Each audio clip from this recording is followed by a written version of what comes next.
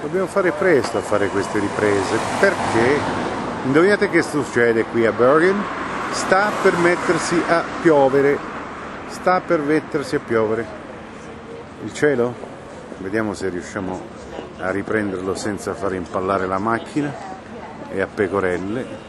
Là c'è un sole al tramonto che rende quasi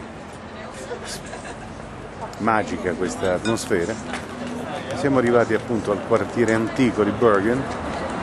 Qui si mangia praticamente ad ogni ora. Sono le 21.40 la gente sta mangiando sotto questa meravigliosa palazzina